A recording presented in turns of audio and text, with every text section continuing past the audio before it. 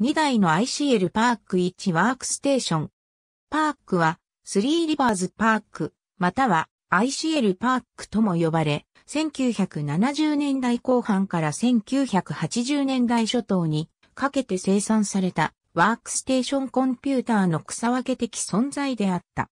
1979年6月、同社は英国のラザフォード・アップルトン研究所から最初の注文を受け、1979年8月にシカゴで開催されたシーゲグラフで正式に発売された。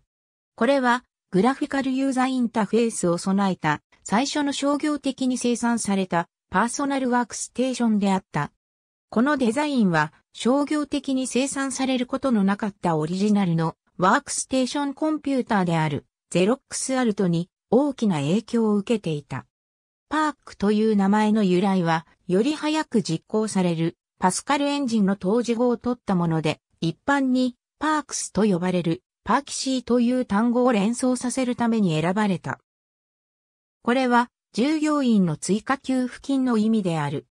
このワークステーションは1974年にスリーリバーズコンピュータコーポレーションを設立したカーネギーメロン大学の元卒業生で従業員のブライアン・エス・ローゼン、ジェームズ・アール・テター、ウィリアム・ H・ ブロードリー、ジェイ・スタンディ・クリズ、ラジレディ、及びポール・ジー・ニューベリーによって考案された。ブライアン・ローゼンもゼロックスパークでドルフィンワークステーションに従事していた。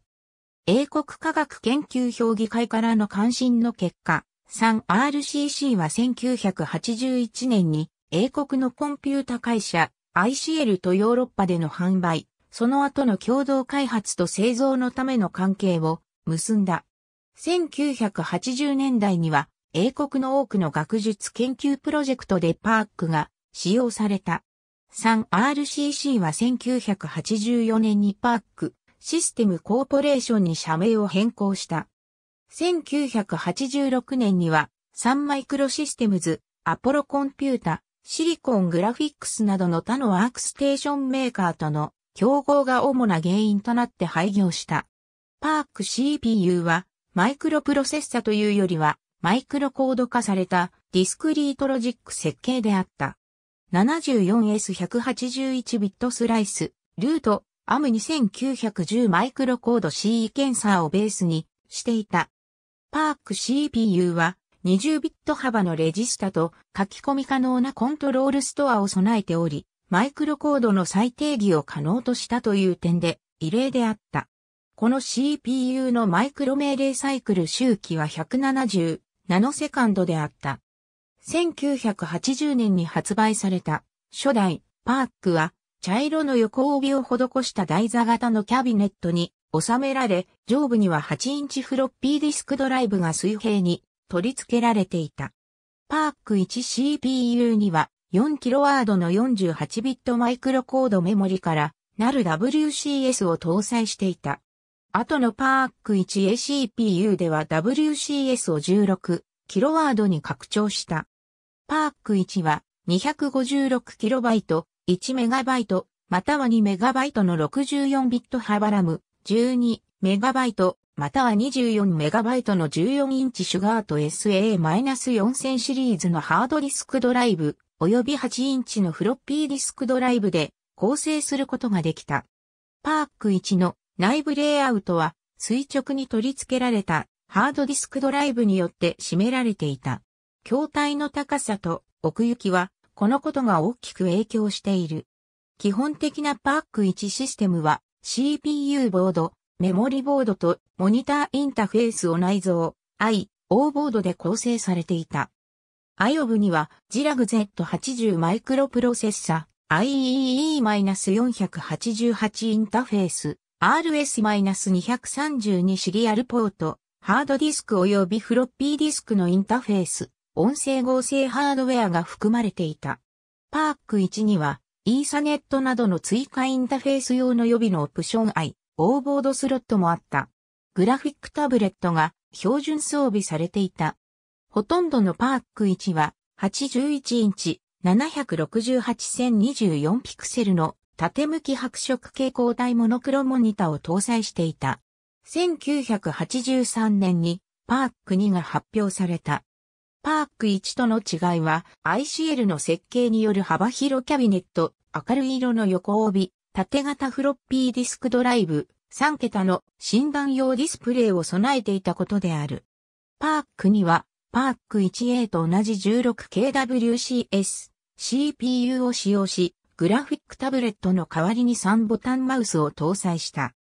静かな8インチの 35MB マイクロポリス1201ハードディスク 1MB または 2MB の RAM を搭載し、パーク1の縦型モニタまたは19インチ1280-1024の横型モニタをオプションで選択できるよう構成されていた。オリジナルの 3RCC パーク2の製造上の問題があったため、ICL はハードウェア設計を見直し、パーク 2T1 が誕生した。後のパーク 2T2、パーク 2T4 モデルでは、8インチのハードディスクを5インチのハードディスクに置き換え、2台目のディスクを内蔵できるようにした。T4 モデルは24ビット CPU とバックプレーンバスを拡張し 4MB のラムボードを使用できるようにした。パークにはパーク1の UO スロットを保持していたが IOV A をまたは2をボードに置き換えた。これらは IOV に似ているが不揮発性のリアルタイムクロック2番目の RS-232 ポートイーサネットインターフェースが追加されている。パーク 3A はパーク2の後継機として ICL によって開発された。パーク 3A は約 12.5MHz のモトローラ68020マイクロプロセッサと68881不動小数点ユニットに加えてグラフィックス、コプロセッサとして機能する AMD29116 A32 ビットビットスライスプロセッサを2機搭載した全く新しいハードウェアアーキテクチャを採用していた。また、最大 2MB の RAM、スカジーハードディスクを搭載し、デスクトップのミニタワースタイルの筐体に収められていた。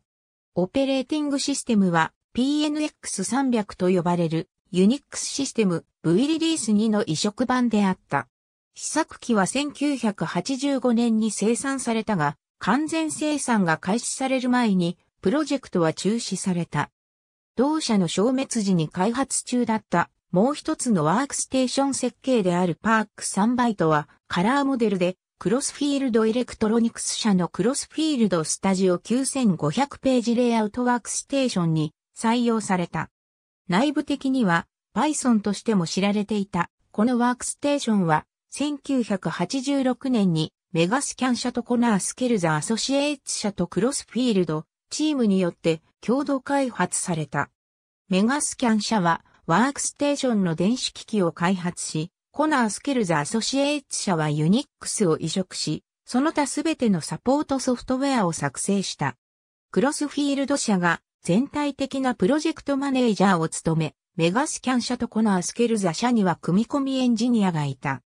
クロスフィールド社の要件は非常に高性能なグラフィックスシステムと大容量のディスクストレージであった。ヘメル・ヘンプステッドのクロスフィールドチームは5インチのフルハイトドライブとゴロンとして知られる高速高ファイバーネットワークからのデータストリーミングと並行して動作する最大8台のスカジー、コントローラをサポートする初期の RAID ソリューションを開発した。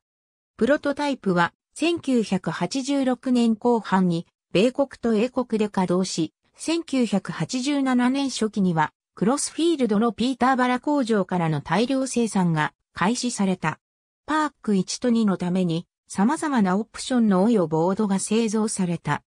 3RCC オヨボードは16ビットパラレル PERQ リンクインターフェースとイーサネット及びまたはキャノン CX レーザープリンターコントローラを備えている。したがって、 PERQ には2つのイーサネットポートで構成することができる。ドットマトリックスプリンタも RS-232 または IEEE-488 ポートに接続することができた。他のサードパーティ製のオヨボードはクイック -02 テープドライブやビデオカメラなどの他のデバイスと接続するために製造された。パークのオリジナルの P、コードライクな命令セットはパスカル用に最適化されていた。旧コード命令は1秒あたり最大100万命令の速度で実行することができた。このことからパークという名前の代替的な定義である Pascal Evaluation Real Quick が生まれた。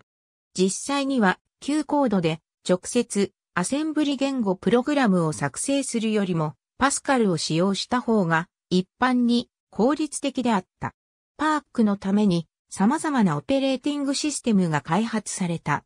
これらには次のようなものがある。2013年にブレッチリーパークのパークワークステーションで実行された1983年製のサードパーティ製のスパイテキストエディター。パークは初期のグラフィカルワークステーションとして人気があり、それゆえにグラフィカルユーザーインターフェースとビットマップグラフィックスを利用した多くの初期のサードパーティアプリケーションが生まれた。イントランはメタフォームと呼ばれる先駆的なグラフィカルプログラムスイートを開発したが、これはグラフィックスビルダー、フォントビルダー、フォームビルダー、ファイルマネージャーの各プログラムから構成されていた。また、パークはザグ KMS ガイドなどの先駆的なハイパーテキストプログラムの専用プラットフォームとしても機能した。パーク上で回路図を作成するためのカナダドルシステムである DP は CMU のダリオ・ギウセによって書かれた。ありがとうございます。